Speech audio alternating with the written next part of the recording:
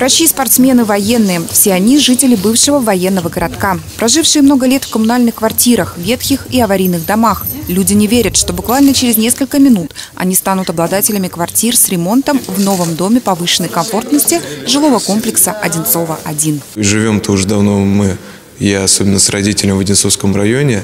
И сколько проезжали по шоссе, всегда засматривались на эти квартиры, но до конца я не думал, что, конечно, осуществится мечта, что здесь получу квартиру. И, конечно, спасибо большое Андрею Робертовичу за эту возможность, что он помог получить квартиру. После торжественной церемонии вручения ключей и подарков, в которой приняла участие министр жилищной политики Московской области Инна Федотова, новоселы увидели свои новые квартиры. Их площадь приятно удивила, ведь она на 5, а где-то и на 20 квадратных метров больше прежней. В квартирах просторные светлые комнаты, сделан хороший ремонт. Качественная отделка, санузлы, ванны, радиаторы отопления, электрические плиты, обои под покраску на стенах, ламинат и плитка на полу. Все новое. Остается перевести мебель и, как говорится, первым запустить кота. Этот проект, он в рамках договора о развитии застроенной территории. На сегодняшний день в Подмосковье а, таких договоров реализуется более 100. А, участвует в этом 114 застройщиков, э, в том числе и группа компании ПИК.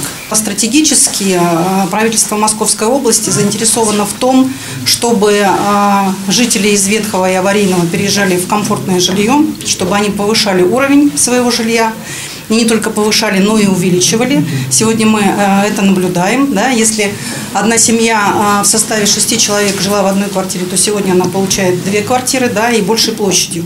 Когда члены семьи Драгановых узнали о переселении из коммуналки, в которой они жили вместе с соседями, в отдельную двухкомнатную квартиру в новостройке, они не могли поверить своему счастью. Эмоции их переполняли и в этот день. Квартиру мы посмотрели, увидели, квартира большая, светлая, большие окна.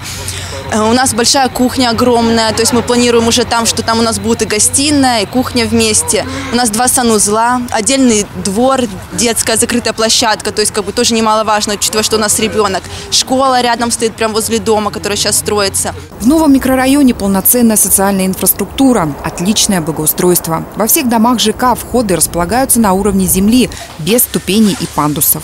Люди рассказывают нам о том, где и в каких условиях они жили, в коммунальных квартирах, в этих старых домах, конечно, э, условия не сравнить.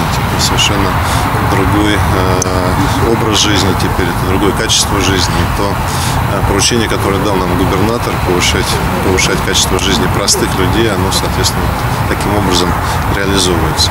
До конца года обладателями ключей от нового жилья в микрорайоне Одинцово-1 станут 577 семей переселенцев из 46 домов. Мила Тарасевич, Артем Ломоносов, телекомпания «Одинцова».